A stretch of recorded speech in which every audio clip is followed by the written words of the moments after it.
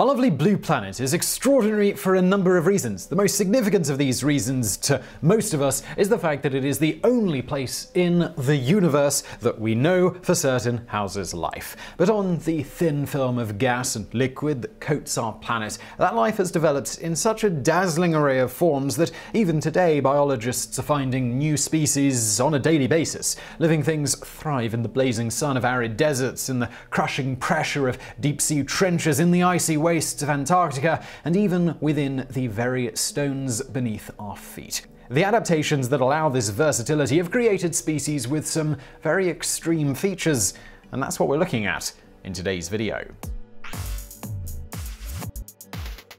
Number 10. Blue Whale the blue whale is a baleen whale that is easily the largest animal on the planet. Blue whales have been found that measured up to 109 feet in length and weighing up to 200 tons. This places the blue whale far in the lead for the title of largest animal that has ever lived. No known dinosaur, outside of a few possible theoretical species, even approach this big boy's size. Number 9. Platypus while it may not be the biggest, fastest, or most impressive species in the world, the little Australian oddball known as the platypus is certainly one of the most confusing. The bizarre forces of evolution that led to this animal have blessed it with a wide array of characteristics that you're unlikely to find together outside of a biology textbook. It's a mammal, which means it's warm blooded and furry, but it's a monotremes, meaning that it lays eggs for reproduction. It has webbed feet to propel it through the water, a duck like bill for a snout, and a flat tail resembling that of a beaver. It has sensitive organs on its bill that can detect the electrical signals in the muscles of fish swimming through the water, as well as sharp spurs, which which in the males secrete a potent though non-lethal venom. That's right, the platypus is poisonous. Well, actually, it's venomous. Turns out there is actually a difference there. Number 8. Komodo dragon. The monitor lizard or Komodo dragon can grow up to 10 feet long and have a weight of over 150 pounds. This makes them the largest lizard on the planet. They're also ferocious, rapacious carnivores who, although they generally feed on carrion, can ambush and bring down a water buffalo with their jagged teeth and huge claws. They also have toothy mouths that are awash with both venom and a soup of bacteria that almost always causes serious or fatal infection in bite wounds. If all of that were not enough, the females can lay viable eggs even if there are no males around. I'm just glad they're only found on a few islands in Indonesia. Number 7. Ocean Quahog this unassuming little shellfish is harvested for food in many areas of the North Atlantic, including Iceland, doesn't look particularly impressive. It's even used to top sushi on occasion and doesn't get a lot of attention. But it has the distinction of being one of the longest lived animals. It's hard to tell how old they grow to be on average, but at least one specimen was brought up from the deep that had lived for over 405 years. That is, of course, until some biologist dredged it up into the air and tested its age, which was fatal. C'est la vie. Number 6. MRL Mouse.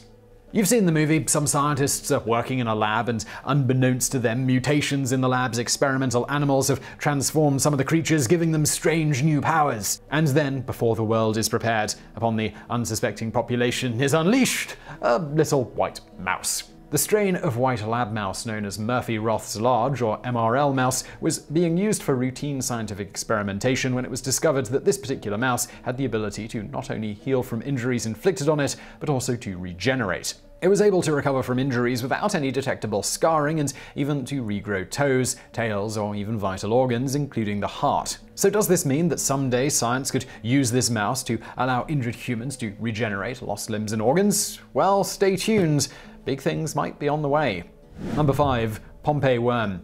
Unless you are a very lucky marine biologist, you are unlikely to have ever seen the Pompeii worm. This is because this fanciful looking tube worm lives in life stuck around volcanic hydrothermal vents in deep sea ocean trenches. This little worm lives in an environment that is incredibly hostile to life and in water pressure that would easily crush any of us in seconds. Their lower end is usually resting within their tubes in water up to 176 degrees Fahrenheit, while their head end is often in water at a far more amenable 72 degrees Fahrenheit. This makes them the second most heat tolerant of all complex animals. For the most heat tolerant, well, you're going to have to wait for number three.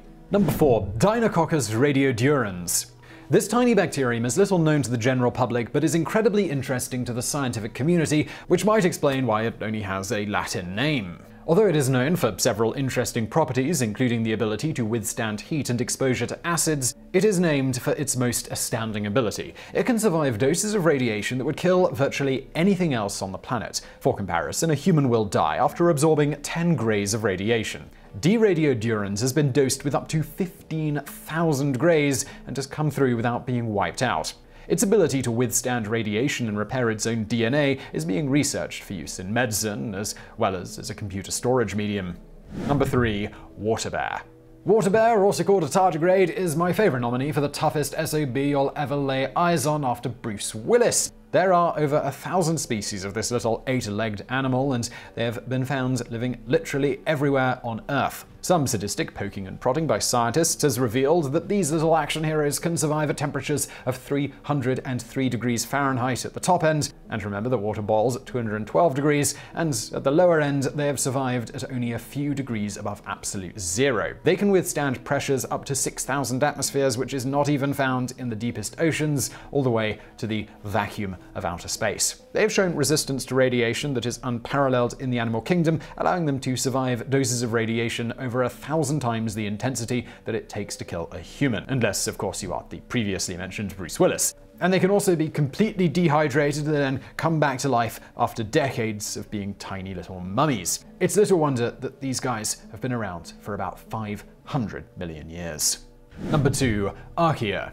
The tiny bacteria-like organisms classified as archaea were only classified in the 1950s, and then they were considered to be a group of relatively uncommon microorganisms that could be found in areas of extreme temperatures, acidity, salinity, or other unpleasant conditions. More recently, scientists have been able to use new biochemical technologies to show that not only are they a totally separate form of life from all the other kingdoms on Earth, but they actually thrive in every environment on the planet. In fact, archaea can be found even deep down in the planet's crust, everywhere that the ground is porous enough to allow anything to get there. They are so common, in fact, that they are now estimated to make up as much as a fifth of the mass of all life on Earth. They are also now known to be a major and indispensable part of our planet's ecosystem. Their strange qualities and the genetic differences between archaea and other forms of life on Earth have caused some scientists to suggest that they may be the common ancestor of every living thing on the planet. Others go even further, with one theory saying that they might not even be native to Earth but were somehow transported here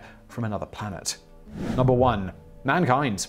Had to know that we would make this list. Humans or Homo sapiens exist today in only a single species with a single variety.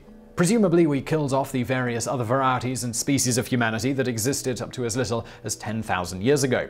Of all the different species on the planet, not one has a more powerful ability to change its environment in order to adapt it to its own needs. While other species use evolution to change and meet certain conditions, humanity decided it had had enough with the whole evolution game and started forcing the environment to change. We burned down forests to plant food, we spread transportation networks across the entire planet, and even alter the atmosphere itself, although that one's not so much on purpose. Although we are a relatively large species with large food requirements, we are currently increasing our population at a rate formerly reserved for disease cultures. We're not all bad though, we'll probably work out a way to deal with all of this, but for now it looks like we're probably the most likely ones to cause Armageddon. So I really hope you found that video interesting. If you did, please do hit that thumbs up button below and don't forget to subscribe for brand new videos just like this every day of the week. Also, more from me on my other channel called Biographics. You will find that linked to below.